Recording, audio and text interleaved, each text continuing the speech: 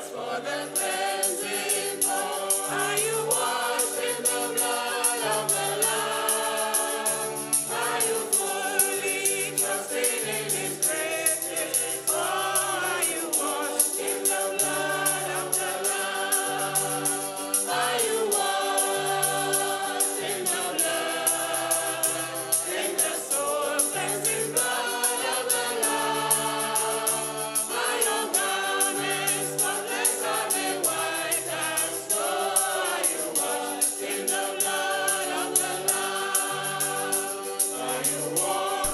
Greetings in the precious name of our Lord and Savior Jesus Christ. Welcome to Moments with Truth, which is a television outreach of the five gospel halls here in Tobago. We sincerely pray that you will be blessed as you view today's program.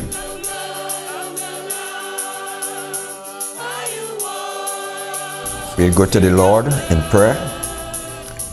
Oh Father and God, give thee thanks and I praise and magnify thy name.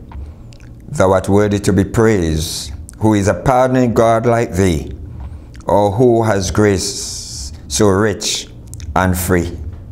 Thank thee for thy wonderful blessing towards us in thy Son, O Lord Jesus Christ, that we can have salvation full and free.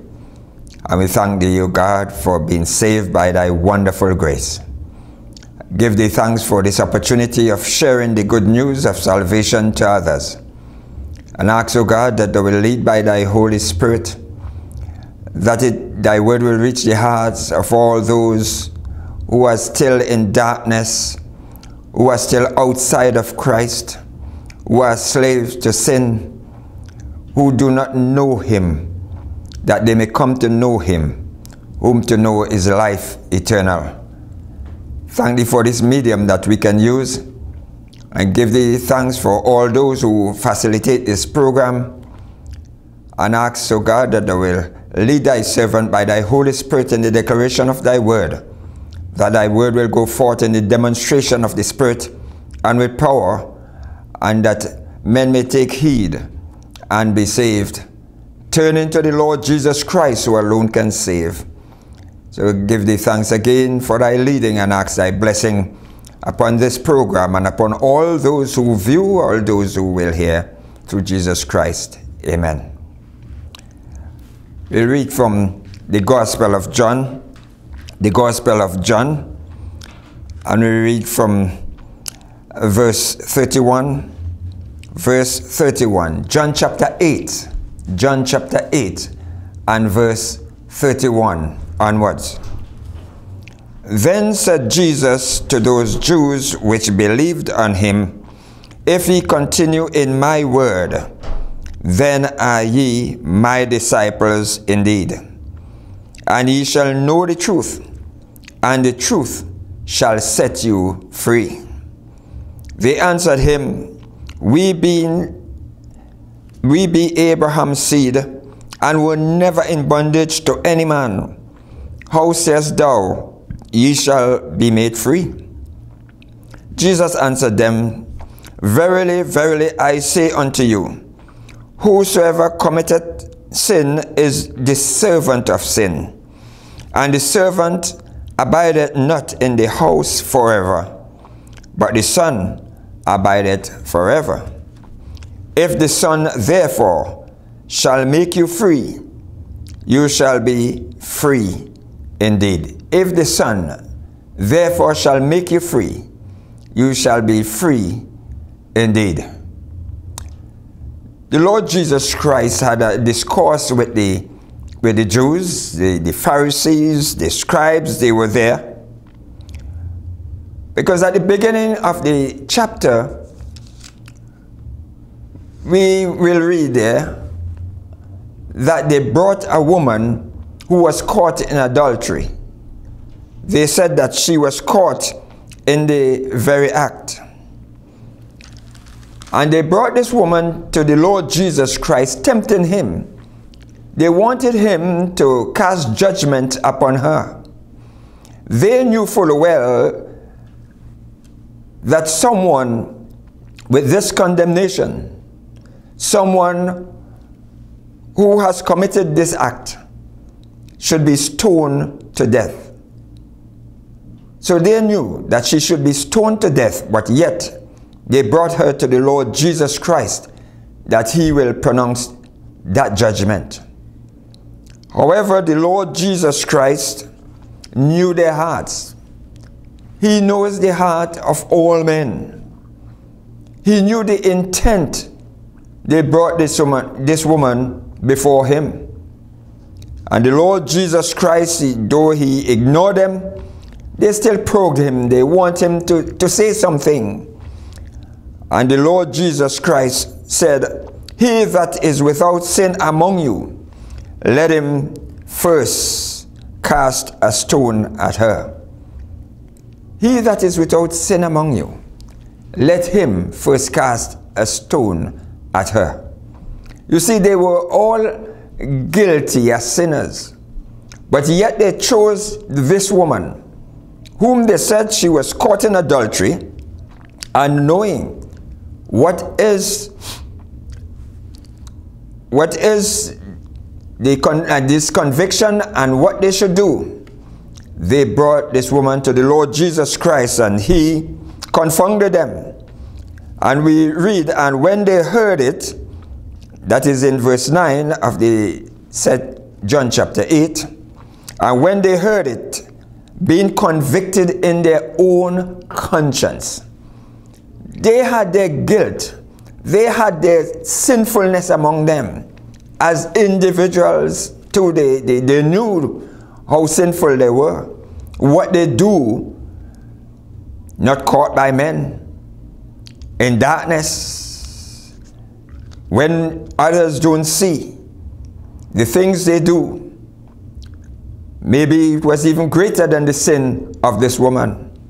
And maybe, maybe the same sin that this woman was convicted of, they did it as well. And they being convicted in their own conscience, we read, went out one by one, beginning at the eldest, even to the last.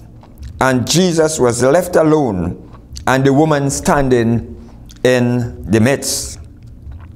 However, when Jesus had lifted up himself and saw none but the woman, said unto her, Woman, where are those thine accusers? Hath no man condemned thee? Remember, they brought this woman. They said that she was caught in adultery in the very act. They condemned her.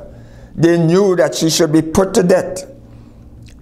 But yet, when the Lord Jesus Christ challenged them, they went away one by one, being convicted in their own conscience, and they were gone.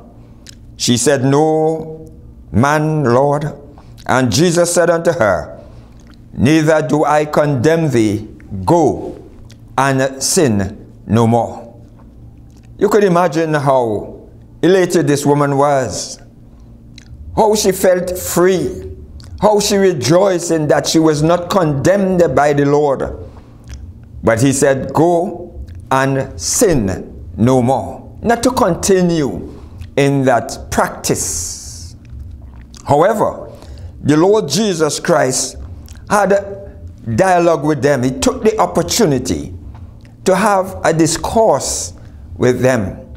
And we read even from um, verse 12, it says, He said, I am the light of the world. He was now presenting himself to the people, who he was, who he is. And they had difficulty understanding that the Lord Jesus Christ, that he is equal with the Father. For he, when he said, I am the light of the world, he that followeth me shall not walk in darkness, but shall have the light of life. And they said, Thou bearest record of thyself. So your record is not true because you are speaking of yourself. And Jesus said unto them, Though I bear record of myself, yet my record is true my record is true. For I knew whence I came and whither I go, but he cannot tell whence I come and whither I go. You judge after the flesh. Yes, they judge after the flesh. But he said, I judge no man. And he said, Well, if I judge, my judgment is true. For I am not alone, but I and the, but I and the Father that sent me. It is written in your law that the testimony of two men is true. So, in other words, he was telling them that he came from the Father, he was sent from the Father. They are one. If you have seen me, you have seen the Father, he said. And the people, they wanted to lay hands on him. Yes, scribes, the Pharisees, they wanted to lay hands on him because they couldn't understand what he is saying. Because he was in the temple now, as he was teaching them and telling them who he is. And we read, Then said the Jews in verse 22, Will he kill him? Will he kill himself? Because the Lord Jesus said unto them, I go my way, and ye shall seek me, and ye shall die in your sins. And whither I go, ye cannot come. So he told them many things that baffled them. They couldn't understand the, the, the teachings that he was giving to them. He was enlightening them that he is the light of the world. He and his Father are one. He judges no man. He condemns no man. Said, I came not to condemn the world, but that the world through him might be saved. And the Lord Jesus Christ was now telling them about their sins. If they die in their sins and you don't believe in me, where will you go?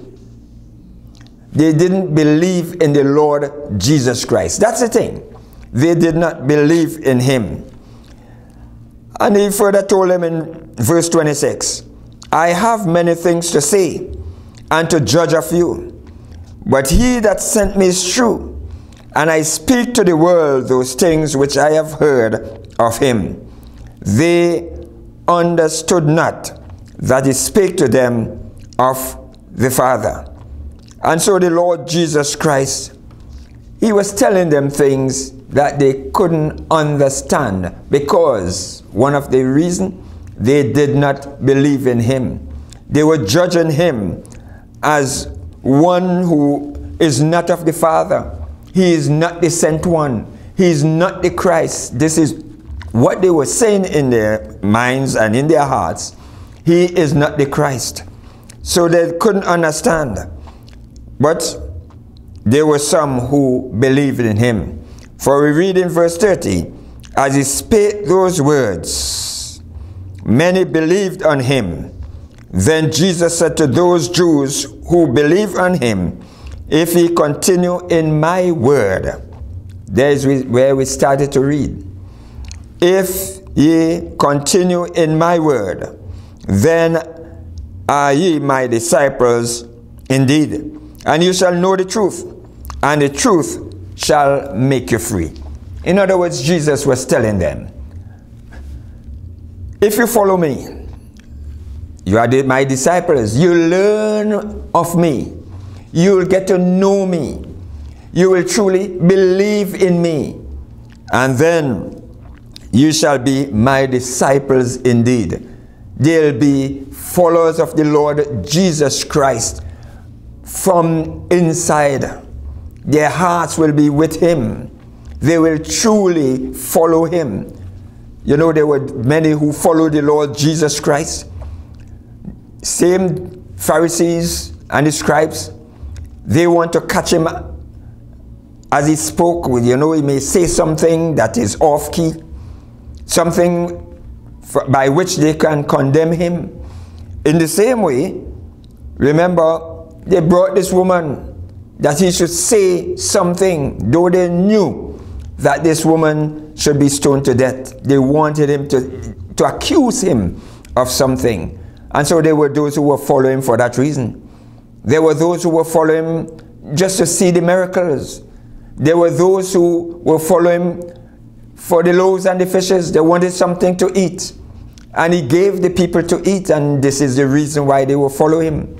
But the Lord Jesus Christ wanted those who believe in him, that they will trust him, that they will give their, their, their all to him, consecrate themselves to him, to follow him, to be his disciples. So he said, If ye continue in my word, then are ye my disciples indeed. And ye shall know the truth, and the truth shall make you free. Ye shall know the truth, and the truth shall set you free. You see, the, the Lord Jesus Christ is, He is the truth. He is the truth. And He said that ye shall know the truth. In John 14, 6, He said, I am the way, the truth, and the life. I am the way, the truth, and the life. And they shall know the truth, and the truth shall make you free. In other words, Jesus was more or less telling them about their sins. They need their sinful bondage. But they considered themselves not in bondage because they are Abraham's seed. When he said that, they answered him, We be Abraham's seed. We were never in bondage to any man. How sayest thou, ye shall be made free? And this wasn't true. This wasn't a true saying. Though they were saying that they were never in bondage, we will recall that the children of Israel, they were delivered, God using Moses from Egypt, and now they were on their way to the promised land. They were in the wilderness. But yet they had a heart of unbelief. They had a heart of unbelief. And they were in bondage even by the Assyria, the Babylonians. And even at the time they were speaking, they were under the bondage of Rome. Of Rome. But yet they are saying that they were never in bondage. How then he can say that he will make them free? Moreover, they claim to be Abraham's children. And this is the mistake many people make. Because my parents are Christians, I am a Christian as well. Because they are God fearing people, well, that gives me the right to be one of God's children. I am God's child as well. But no, we see they said they are Abraham's seed. They are Abraham's seed by birth. Physical, not spiritual. And here we see the Lord Jesus Christ is saying, Verily, verily, I say unto you, whosoever committed sin is the servant of sin. In fact, you are under the bondage. You are prone to do sin. You always have to do sin. And later we see the Lord Jesus Christ told them this. So he tells them that ye are of your father the devil, and the lust of your father ye will do. The lust of your father ye will do. And they, they, they don't realize that they were under spiritual bondage. And lots of people don't realize that they are under spiritual bondage. Have to sin, the servant of sin, under the bondage of, uh, of Satan. And this man, Satan, it is said, he was a murderer from the beginning and abode not in the truth, because there, there is no truth in him. And remember, it is the truth that shall make you free. And the Lord Jesus Christ, He is the truth.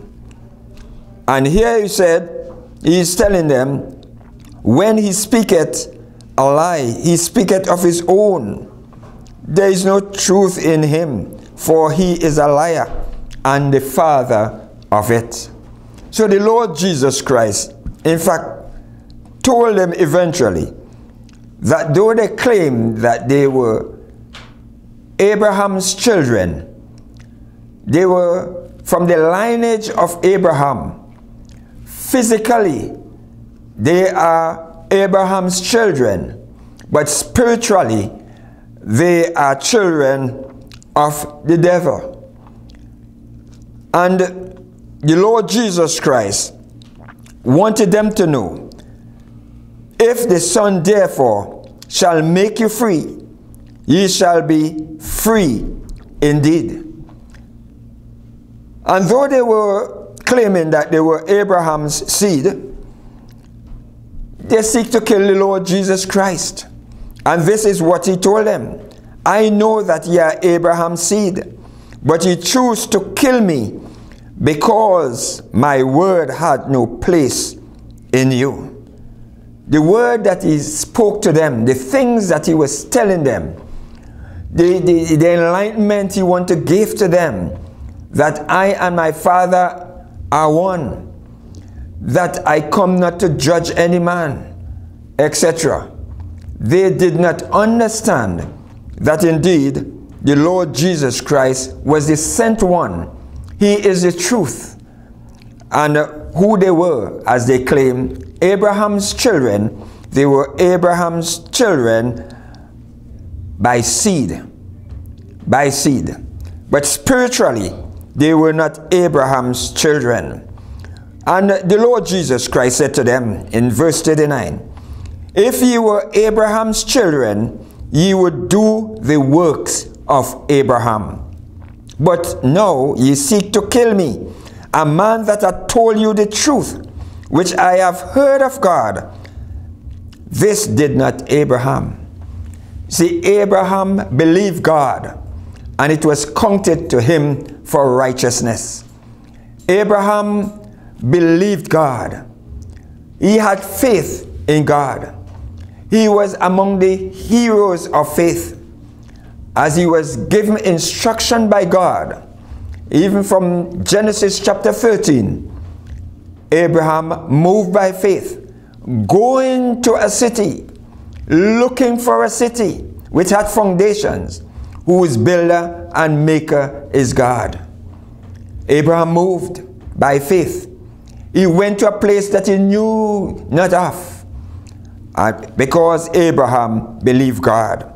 But these people, they did not believe God. But they claim that they are Abraham's children and they wanted to kill the Lord Jesus Christ because he spoke the truth.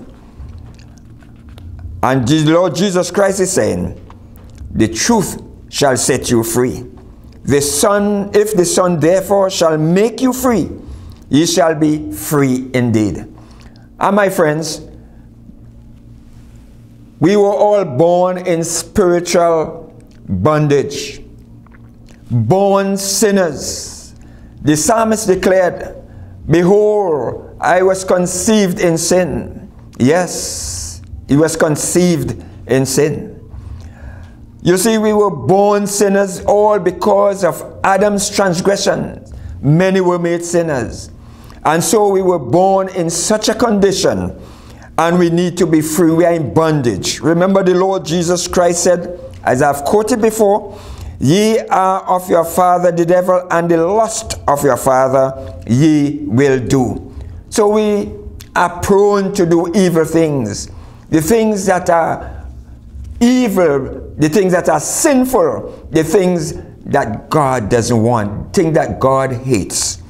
We are prone to do those things.